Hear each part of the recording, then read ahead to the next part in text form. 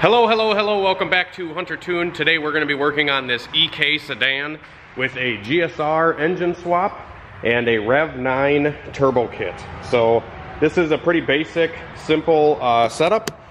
Uh, this Rev 9 kit I've installed on a couple cars now and they all seem to fit fairly well. Most of the eBay kits that you buy, uh, at least back in the day when I bought a lot of eBay kits, uh, the downpipes would never fit. Uh, the, just the piping you'd have to make different, and it was just a kind of a, a crapshoot on if you bought the right eBay kit or not. So now I think some of these eBay sellers like Rev9, CX Racing, and a few others, uh, they're actually getting the fitment a lot better uh, because most of the stuff worked good, but like I said, now it seems as if they're actually measuring and making parts the right way. Or making them better than they were, I should say. So this car has, I don't know, 50-ish trim, basic, run-of-the-mill T3 turbo, 5-bolt downpipe to a 2.5 inch uh, exhaust. It's just open downpipe right after the motor, not hooked up to the rest of the exhaust. He said that he wants to leave it open downpipe for now and hook the exhaust up later if he gets sick of the noise. So I think he said that these wastegates come pre-installed with like five, six pound spring.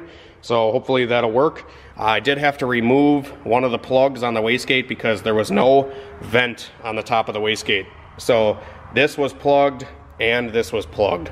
So uh, just like I was explaining in one of the last videos, if you have no room for the air to escape out, it, the wastegate can't open and then it re results in overboost which could result in a rod poking out of the motor, which we don't want.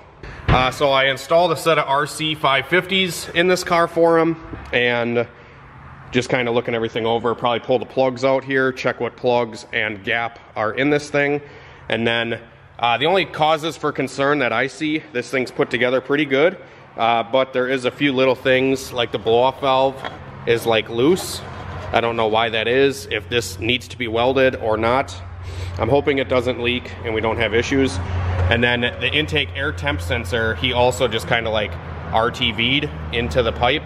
So I'm hoping that's gonna hold. Uh, if it doesn't, uh, worst case scenario, uh, if guys jam sensors into pipes like that, I always recommend using JB Weld, uh, just because the JB Weld is going to hold the boost. RTV can blow out, so we'll see if it holds. If it holds, great. If it doesn't, we'll mix up some JB Quick and fix that leak. So I did end up chipping a P28 for him and installing a jumper harness. This car was running an OBD2A P72 computer before it was turbocharged. So I have uh, his old injectors here and his old ECU. He supplied the jumper harness, I supplied the ECU chipping and tuning and the install the injectors. So that's what we're doing on this one. Uh, like I said, got the chip P28 ready to go. I have a base map in it for these RC 550s and it runs pretty good, uh, but it was a single cam map to start. So what we're gonna have to do is we're going to have to add fuel into this tune in order for it to be like a close base map and I'm going to do that right now after I check and inspect the spark plugs. And then we'll get right to it and we'll start doing some pulls, monitoring uh, to see how much boost this thing's going to make. I'm gonna start off with a really rich base map and we're gonna make sure that the boost uh, makes what we want it to make and doesn't make too much. So, and we're gonna make sure it makes any boost with those two concerns I was talking about. So hopefully a, it makes boost, and B, it uh, everything works. So we're gonna start there, and I'll let you guys know in a second uh, how the plugs are, and uh, once we get a map in this thing, and the dyno all set up. All right, so I just got back from the parts store to grab some plugs. I ran out, uh, but the car had these BKR 6s in it. So we got we went with a seven on this car. Could probably even do a eight heat range. And I got a base map in it out of another car that I did uh, with 550s and a stock map sensor. So got the timing all set up. Got uh, the base map in the car and uh, you can hear it idling right now. It's a little poppy. Like it tut tut tut tut, like it's a little lean. So going here. You see the wideband is reading like 16, 17. So we're gonna have to add some fuel in at idle. And uh, we're gonna see where else we need to add fuel. So I'm gonna just drive it on the dyno a little bit and do some driving to kind of see what all needs adjustment and we'll go from there.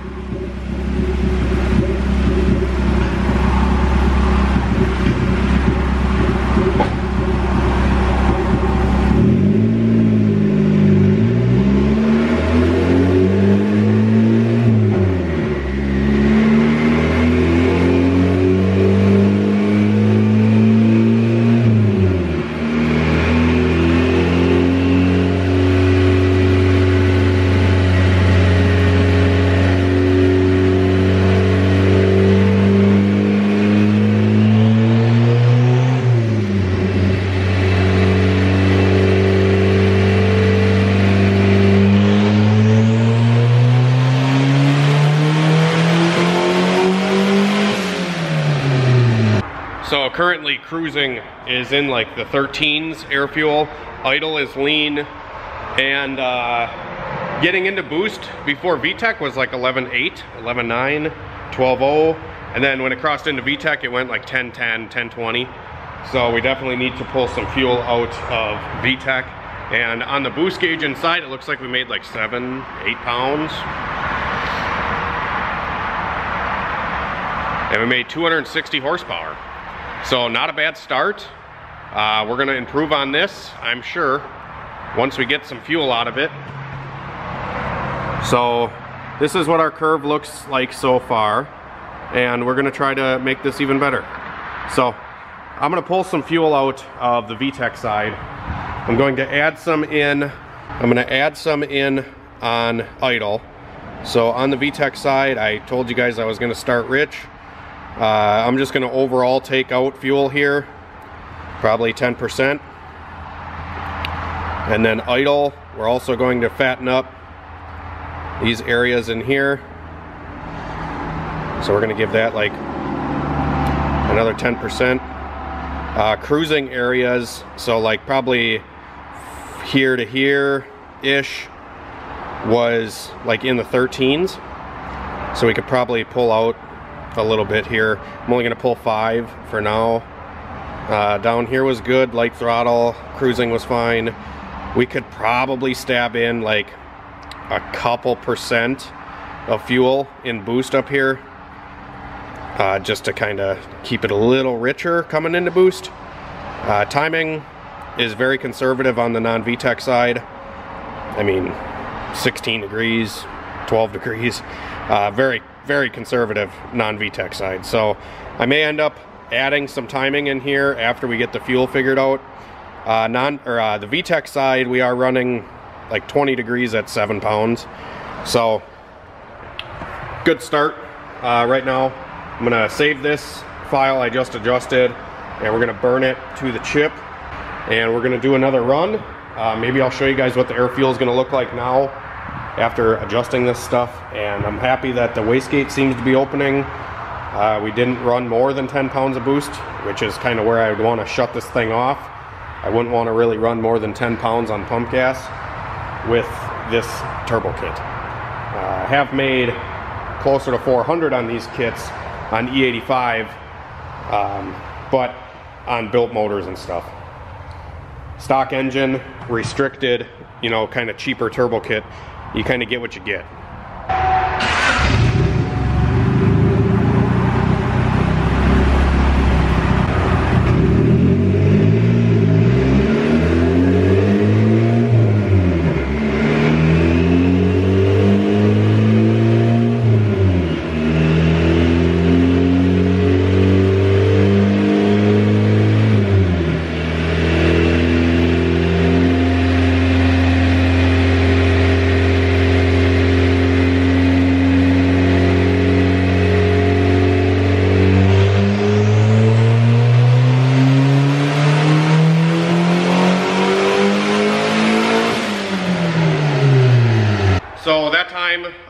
VTEC was 1050, 1080, and then way up top it got rich again. So I'll have to pull some more, probably above like seven grand. I actually spun it up a little higher that run. Uh, before VTEC, in boost was like 11.0, 11.20, something like that. And you can see we did pick up power pretty much everywhere. Um, the crossover might need to be a little lower. It seems like VTEC's a little high right now, so I might lower VTEC down. Uh, but you can definitely tell in this area here where we picked up power just from that fuel change. So obviously the, the higher number is the recent run. I spun it up higher too. Uh, you can see we picked up some power, you know, in the 6,000 RPM, 5,500 range. Before we were at 235 at 5,800, 5,900, and now we're at 247. So I mean, we picked up 10 wheel from 10% fuel change uh, down there. Uh, I think, like I said, this stuff is still fat, so I'm gonna have to lean this area out above 6,500 or so because it was in the 10s air fuel, but we made 302 horsepower. Um, and it looks like on the gauge in the car, it makes like nine pounds. It's like right under 10. So my logger is not working for chipped ECUs right now, so I can't see what the map sensor sees, but I do have the cut set at 10. So if it does hit 10, it's gonna cut the engine. Um, but so far so good, guys. I might splash some uh, timing in it down low before VTEC and see if that changes anything. And I'm also gonna change the VTEC crossover down, I think it's at five grand right now. I'm gonna try it at like 4,500. And then I'm also going to pull the fuel above 6,500. I'm gonna pull out another like 10% probably, five, 10%. And uh, we'll go from there. All right, round three. Let's see what she does now. VTEC's a little lower.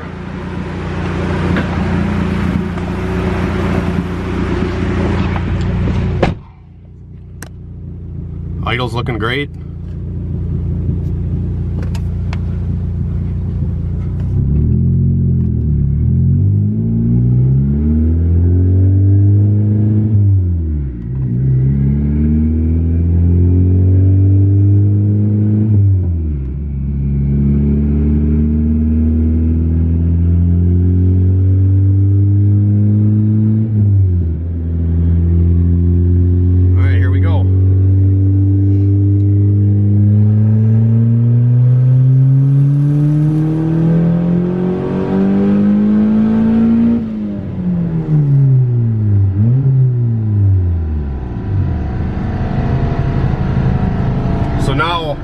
pulled fuel out up top above like 6,500 and you saw it was perfect above 65. It was in the 11s, uh, but before 65 is rich. So I'll probably pull another couple percent out of that mid-range there and we'll see what the VTEC crossover did, if it helped it or not. Really good, smooth running GSR though. Very quiet.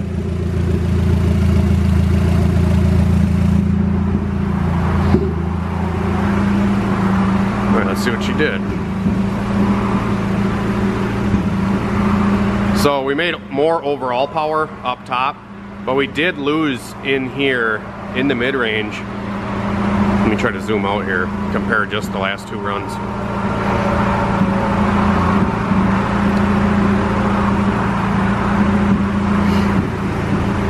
So in the middle there, you can see where I said it, it got rich and then the fuel came back out of it and it was in the 11s and we were on track where we need to be. So I'm gonna try to get this back where it was or above, hopefully.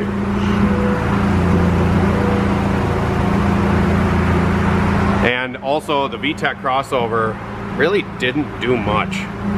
Uh, it might have even lost some power, so we might need to have VTEC a little higher on this setup.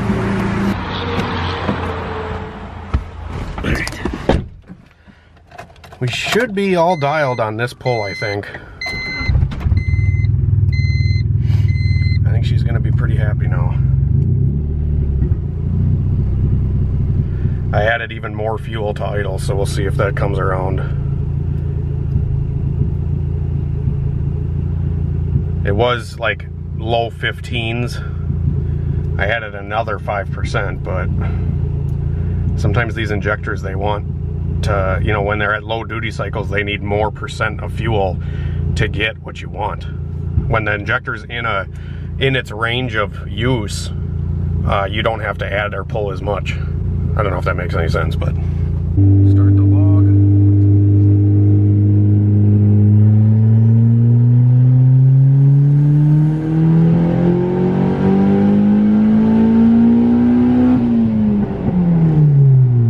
That was beautiful on that freaking pole. Hell yeah. Wide open was in the 11s the whole time. Right when I stabbed it, it was like 12.0 and it hung like 11.30 the whole pole. 11.30, 11.50. That was awesome. I might have to splash a little bit more back in cruising because I pulled some out trying to get it to run a little bit leaner cruising, but I think I'm going to end up keeping it a little rich so we don't run into any misfires at cruise. That's gonna be our record for the day, I guarantee it. That's gonna make the most power, I bet, everywhere. We'll find out. 318 and a lot smoother curve. Let's see here, comparing some runs. So this is the last run that we did. Pretty much overlaid. Um, I think a lot of the loss in power that we're seeing now in the mid-range is just because I've been doing back-to-back -back runs on the thing. So um, maybe we'll do a run later or uh, after it cools off and we'll see how much power it makes after it's cooled off. I assume that it'll make more not being heat soaked. And then we'll double check up on cruising and this thing's dialed. Almost 320 horsepower on less than 10 pounds of boost. A plus. This guy did a good job putting it together. I think we could probably, we probably do have some boost leaking out of this blow off valve and I think that might be another reason for like the little bit of wavy in the curve because in the car on the boost gauge like it it, it kind of slowly comes up to boost. I feel like this thing should spool up a little quicker than it does but I think he'll be really happy with it. Also I did want to mention too that like the I was saying that my logger wasn't working with HTS or chipped ECUs and I think there might be a guy sending me a snake EMU um, kind of heard hit and miss stuff about the snake EMU stuff, but he said that he'd send it over for me to try out and hopefully we can do some more tuning with HTS and working data logging and uh, real-time tuning so I don't have to keep burning chips back and forth. Uh, but like I said, I've, I've done a lot of chip ECU stuff, so it's a little easier for me to not live tune and just burn the chips. It's just a little bit more time consuming doing it that way. And, you know, obviously can't get all of the live data that you want. So hopefully uh, we'll be able to try out something that works consistently with this HTS software for the logging and everything like that. I had some stuff that worked, but um, it just quit working for some reason. And I'm not really a tech savvy guy. Uh, I just know how to make an engine work. So anyways, alrighty guys, so that's gonna wrap up that little Rev 9 Turbo GSR Honda Civic and uh, it ended up working out pretty good. Hopefully it lasts a long time for him. I know those turbos, the eBay, the cheaper turbos, they're kind of hit and miss, but hoping uh, the Rev 9 stuff seems to be working out pretty good, so hopefully he has good success with it, and uh, he came pick the car up the other day, and uh, was pretty happy with it, so uh, yeah, another one out the door, hopefully some more coming soon, and uh, yeah, a ton of other projects and stuff that I have in the works that I want to do, it's just every time I like get some momentum on a project, I get really busy with work and really busy with the website and really busy with emails and messages and everything like that. So um, I may be taking a short while off of work just so I can get these videos done that I want to do and get the uh, projects that I want to get done done. so there's going to be some uh, bike content coming soon with the Groms and also some more content with my Integra. The four-door I did some more filming with and yeah, just a, I have a ton of ideas and a ton of projects and stuff that I want to film and get rolling.